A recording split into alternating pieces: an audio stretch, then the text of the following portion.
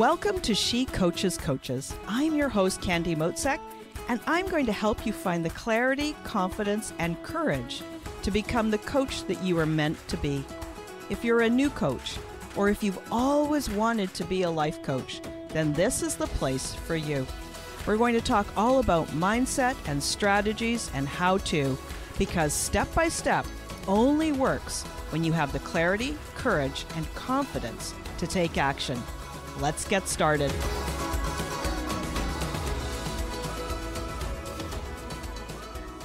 Hi there, and welcome. I am so glad to see you here. Here we are on episode 11. Since the start of this podcast, off and on, I've briefly mentioned the model, since it's the foundation for much of how I recommend you do your thought work. Let me give you a quick overview on this tool. Because the mindset of becoming a coach is the most important thing. There's nothing else that's more important than your mindset. Because it helps you feel better, it helps you take better action, and it helps you get better results. And if you're not liking the results that you're getting, it's going to help you to change that so you get the results you want. So let me dive in. When you think of this model, it's kind of like a ladder. It talks about how we create all the results in our life how much money we make, how many clients that we have, the kind of house that we live in, the kind of car we drive, what our relationships are like, everything. This is something that was codified by Brooke Castillo. She didn't create it, but what she did was systematize and classify the way the world works so it could be used to help us gain awareness of our mind. The model is very similar to CBT, cognitive behavioral therapy. I went to the Google for a quick definition of CBT to share with you, and here's what it says CBT works by changing people's attitudes and their behavior by focusing on the thoughts, images, beliefs, and attitudes, and how these processes relate to the way a person behaves. Now, most of us are used to taking action. We are the doers, the overachievers, the strivers, the goal getters. When in doubt, we go do stuff. But we don't always get the results we expect. And the model explains why. So let me explain this to you. There are five components, five rungs on that ladder that I talked about, and they are circumstances, thoughts, feelings, actions, and results. And the ladder looks like this. On the very top rung, you write a C for circumstances. On the next line down, you write T for thoughts. Then on the next line, you write an F for feelings. And below feelings, on that next rung of the ladder, you write A for action. Finally, on the very bottom rung of the ladder, you write the letter R for results. Let me tell you how these rungs work. So, C, circumstances. It's neutral, it's data. It's something that if you and I both looked at it, we would exactly agree.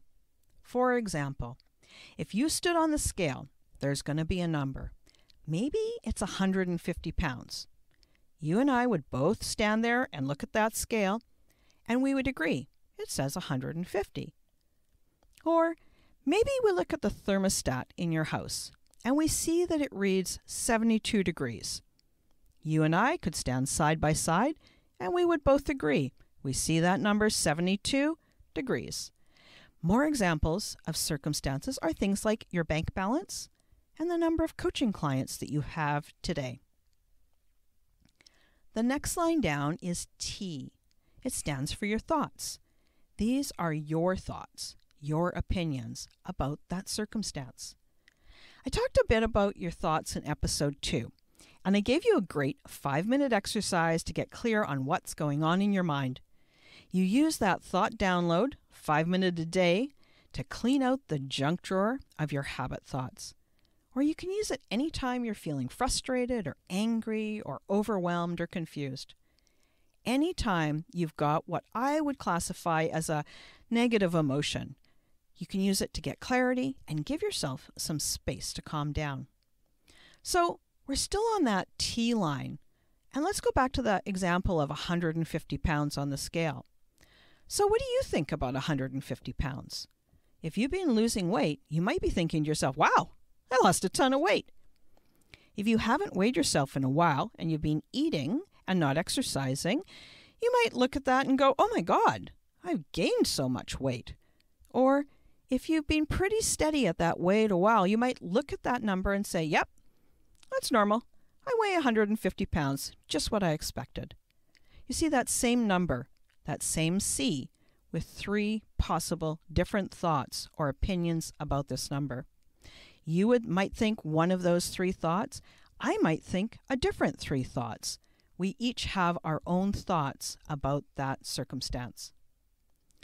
Now, the next rung of the ladder is your feelings. Your thoughts drive your feelings. What you think creates an emotion every single time.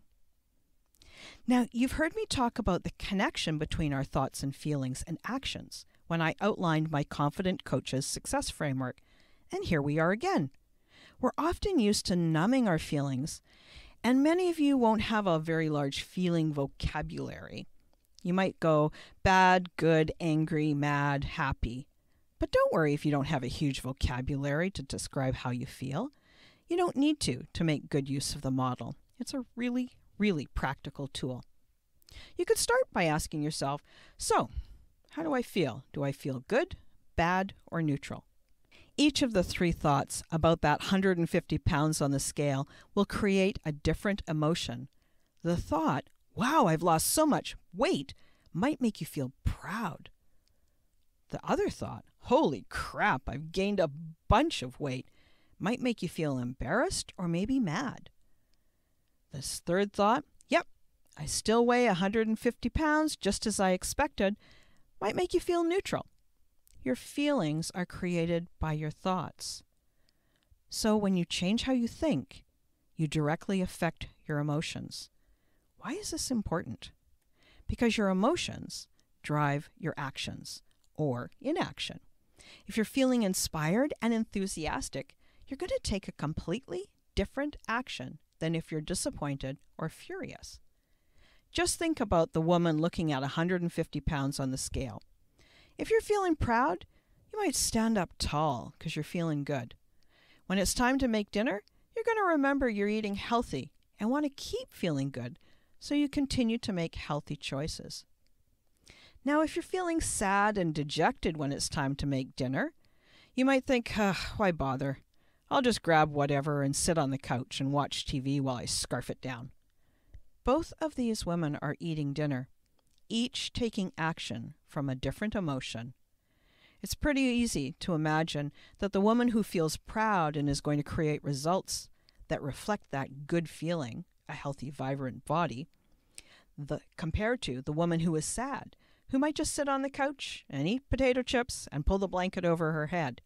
You can imagine how the results that each of those women get are completely different. Now, sometimes the action that you take is nothing or inaction. We can choose to not do something, not exercise, not drink water, not make that phone call, not invite somebody to be a coaching client. We procrastinate, delay, avoid. All of these inactions create another result, probably one that we don't really want. So, do you see how this works? how you think about something in your life. When you're thinking specific thoughts, those thoughts change how you feel. And then how you feel, those emotions drive your action. The sum of your actions creates your results. In the 150 pounds example, if you keep eating healthy, you may improve your overall health even more. Maybe the result is a much better managed type 2 diabetes or a consistent reduction in your blood pressure. And maybe you just think more clearly and feel better and sleep better. Or maybe you feel courageous enough to put your name forward for a speaking gig. Now, if you continue to eat unhealthy and eat more than your body needs, the number on the scale may go up. You might need to buy some larger clothes. You may find out you have prediabetes. All of these potential results are a direct result of the actions that you've taken.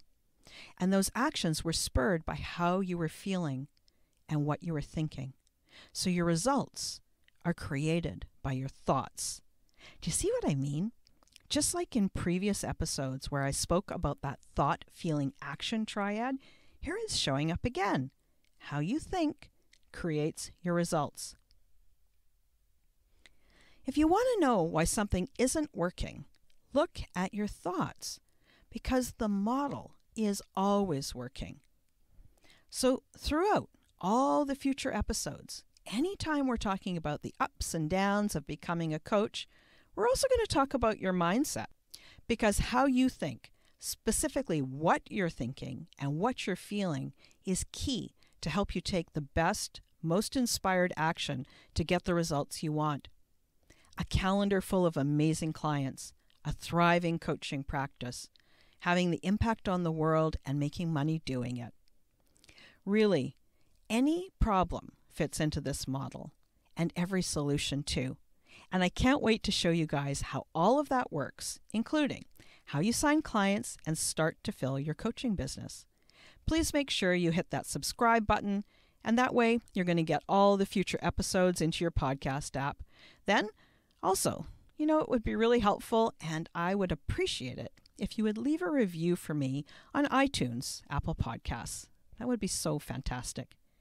Between now and the next episode, I would encourage you to think about this model. Do you see how it works?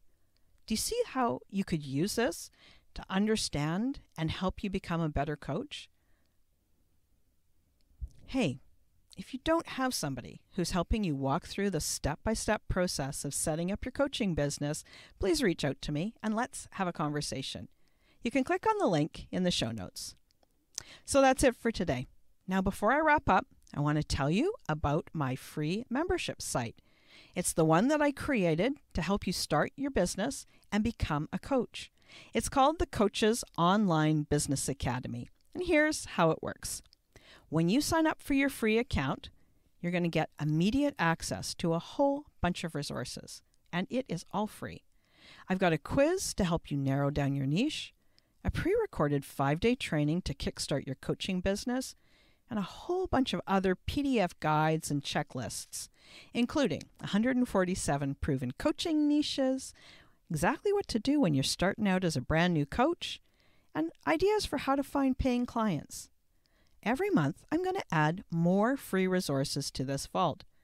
Now, you only need to sign up once, and you're going to get access to all of the resources that are in there now and all the new ones as I add them too. It's a super valuable resource, and I am so pleased to be able to share this with you. Click on the link in the show notes and sign up today. We'll talk to you next week. Thanks again for listening today. Please hop on over to Apple Podcasts and leave a review. Also, I would love to hear from you. Did something that I say resonate? What else would you like to learn about? Click the link in the player and leave a comment on the post. This is going to give me great ideas for future episodes so I can help you best. Join me again next week for more coaching, support, and teaching to help you become the confident coach you are meant to be.